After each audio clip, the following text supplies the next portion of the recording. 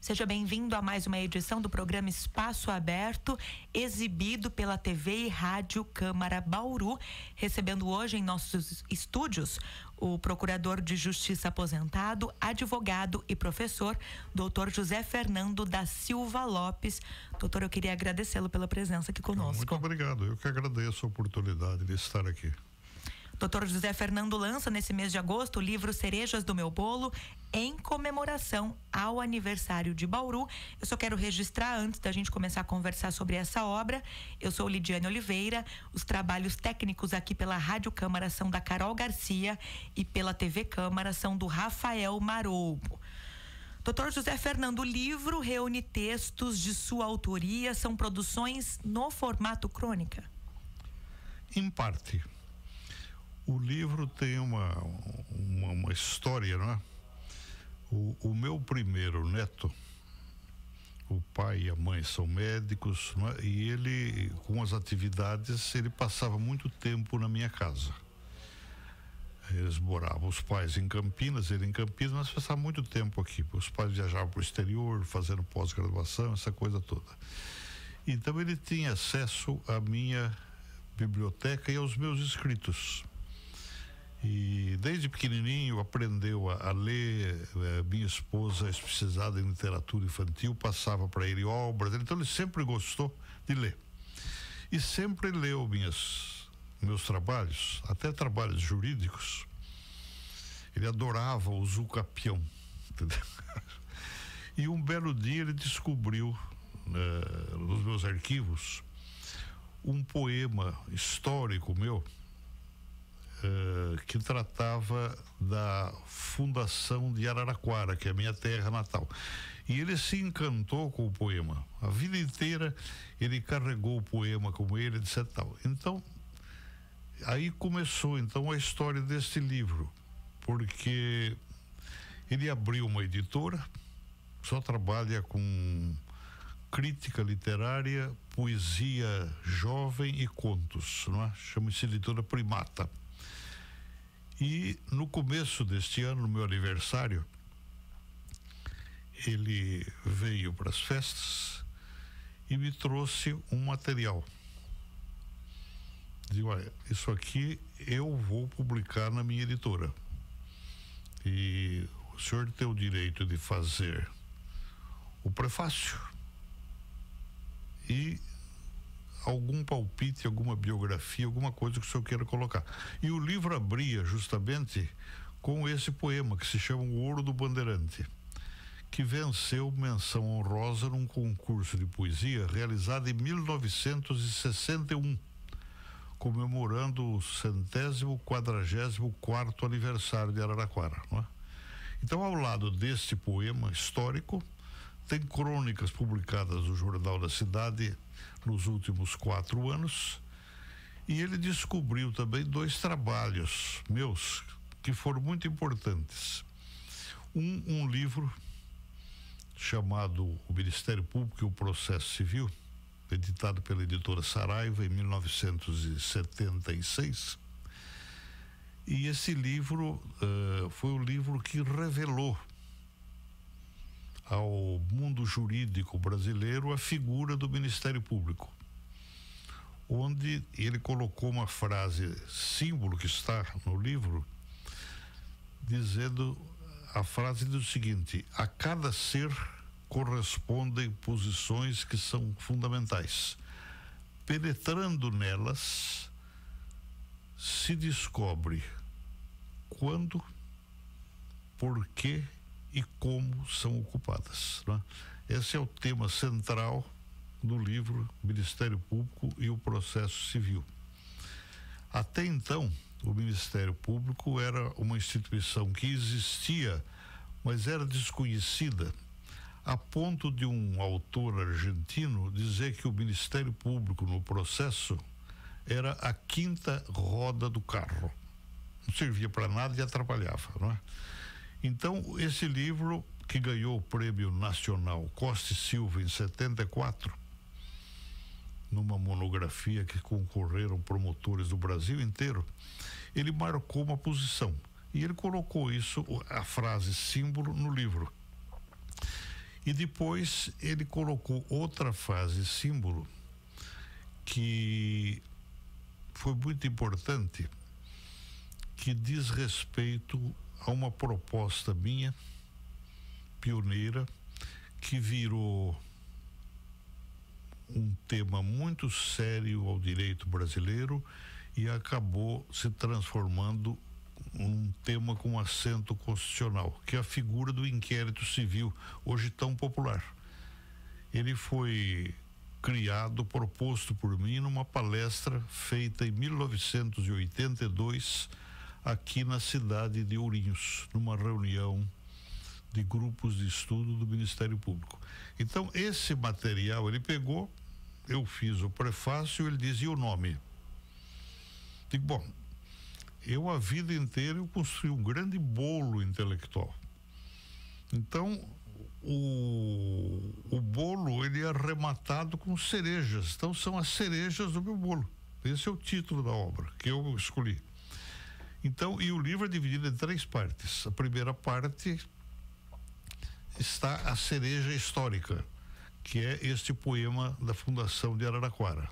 A segunda parte são cerejas do Jornal da Cidade, que são as crônicas publicadas no jornal que ele, a critério dele, selecionou. E a terceira parte são cerejas que influíram neste nosso mundo, onde nós tratamos da revelação do inquérito civil, essa frase símbolo, e a proposta do inquérito civil que hoje tem padrão e assento constitucional. Então, basicamente, esse é o livro num apertadíssimo resumo. O senhor então reúne nessa obra de uma certa forma um pouco da prática Exatamente. jurídica, um pouco do trabalho da produção, como Exato. o senhor falou, desse bolo intelectual, da Exato. produção literária ao longo da vida, um pouco da reflexão da vida cotidiana. É um resumo da trajetória Sim, pessoal certo, e profissional. De certo modo, dizer, as coisas se tornam efêmeras, não é? Uh, um concurso de quase 60 anos atrás, não é? Uh, frases escolhidas há mais de 30 anos. Uh, são cerejas que estão esparsas e foram efêmeras. Ele restaurou isso, não é? E, dentre muitas outras cerejas, estas coroam esse bolo. Daí o nome.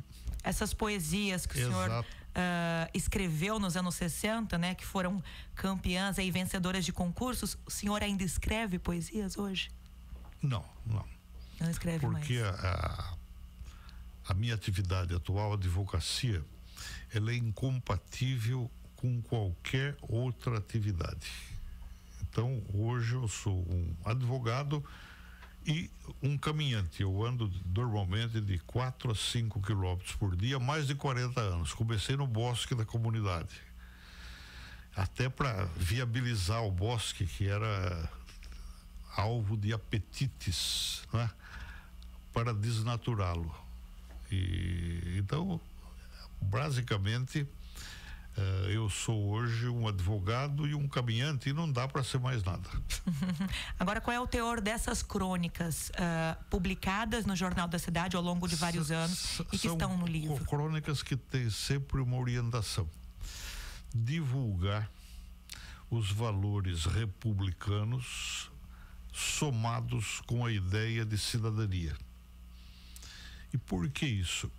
Porque a cidadania no Brasil, ela é mal compreendida e não serve para nada porque ela não tem repercussão coletiva. Quer dizer, então é, é muito comum a gente ouvir o cidadão dizer: eu quero que asfalte a minha rua porque eu pago imposto. Eu quero não sei o quê porque eu pago imposto. O que é imposto? Que é um tributo que é, é tão ruim, tão desagradável, não é? Que ele é imposto. No, o nome técnico é tributo, mas ele é imposto. Então tem um nome popular e até jurídico de imposto. Então o, o que acontece é o seguinte: eh, o brasileiro ele não valoriza, ele não conhece a, a cidadania, não é? No fundo, o que é a cidadania? É numa ordem federativa e republicana, é a capacidade que cada cidadão brasileiro tem de participar e de influir nos destinos do seu país. Quer dizer, isso é um valor imenso, é uma arma social poderosa que infelizmente não tem repercussão ainda.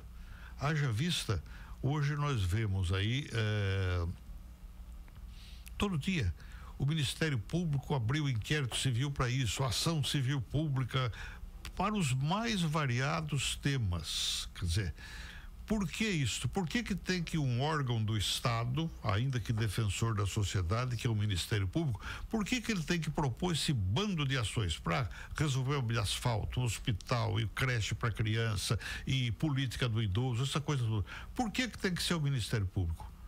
Porque o cidadão é fraco, a cidadania não encontrou a sua força.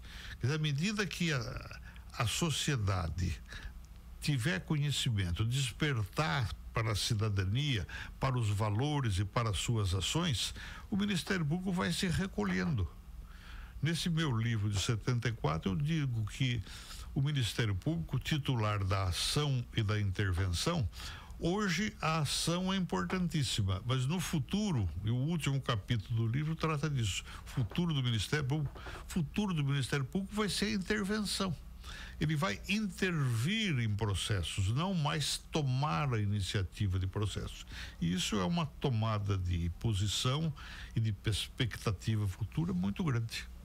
Já que o senhor está comentando sobre essas perspectivas jurídicas, o senhor também tem uma gama de publicações de obras com teor nessa área né, jurídica, do direito. O que o senhor poderia contar eu um pouquinho para a gente? Uh, eu tenho uma obra também pioneira que teve grande sucesso, a obra de 76, é, quando foi criada a lei do divórcio. Essa obra se chama O Divórcio no Foro do Brasil. Foi uma obra pioneira.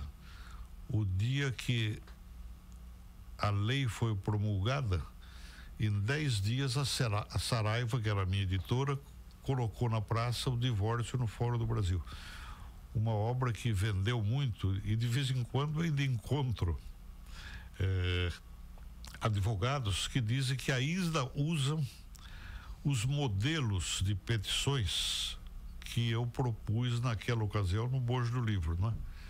Depois eu tenho uh, dois livros sobre estudos da minha área, que é direito processual civil, e Aí, diante do rumo que a minha advocacia tomou, eu tenho dois livros sobre planos de saúde no Brasil. Um, uma editora independente do Sindicato da Saúde de São Paulo e outra da editora Saraiva, Planos de Saúde e a sua orientação jurisprudencial. Então essas são as obras já bem vinculadas a um aspecto específico do direito, quer dizer, o direito à saúde. Bom, nós estamos recebendo aqui no programa Espaço Aberto pela TV e Rádio Câmara Bauru, Dr. José Fernando da Silva Lopes, procurador de Justiça aposentado, advogado e professor.